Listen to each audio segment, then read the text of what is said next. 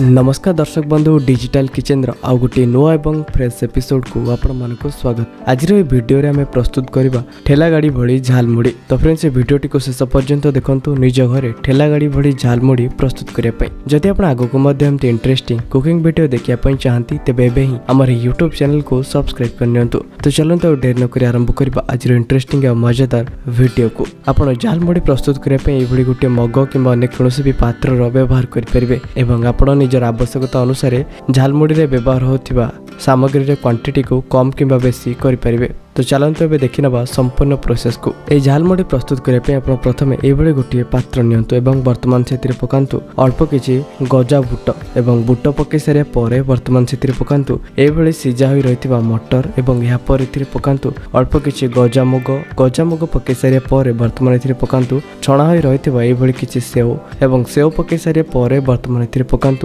ଭଜା ହୋଇ ରହିଥିବା ବାଦାମ ଏବଂ ଏହାପରେ ଏଥିରେ ପକାନ୍ତୁ ଡାଲି ମିକ୍ସଚର ଆପଣ ଡାଲି ମିକ୍ସଚର ଜାଗାରେ ଅନ୍ୟ କୌଣସି ବି ମିକ୍ସଚର ମିକ୍ସଚରର ବ୍ୟବହାର କରିପାରିବେ ଏବଂ ମିକ୍ସଚର୍ ପକାଇ ସାରିବା ପରେ ବର୍ତ୍ତମାନ ଏଥିରେ ପକାନ୍ତୁ ଏଭଳି ଗୁଣ୍ଡ କିମ୍ବା କୋରା ହୋଇଥିବା ନଡ଼ିଆ ନଡ଼ିଆ ପକାଇ ସାରିବା ପରେ ବର୍ତ୍ତମାନ ଏଥିରେ ପକାନ୍ତୁ ଏଇଭଳି କଳା ଲୁଣ ବା ବିଟ୍ ଲୁଣ ଏବଂ ଏହା ପରେ ଏଥିରେ ପକାନ୍ତୁ କିଛି ଗୁଣ୍ଡ କଟା ହୋଇ ରହିଥିବା ପିଆଜ ଟମାଟୋ ଏବଂ କଞ୍ଚା ଲଙ୍କା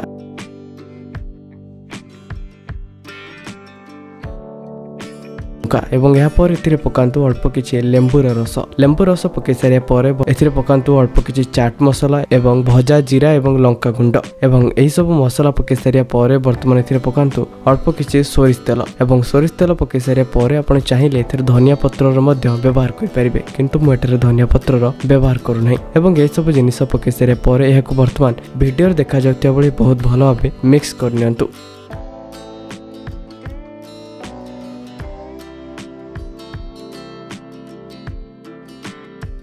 এবং ইহাকো বহুত ভালভাবে মিক্স করিসারে পরে বর্তমান ছেসর এথিরে পকান্তু আপনকোর মুড়িকু মুড়ি পকেসারে পরে পূণী হাকো বহুত ভালভাবে মিক্স করনি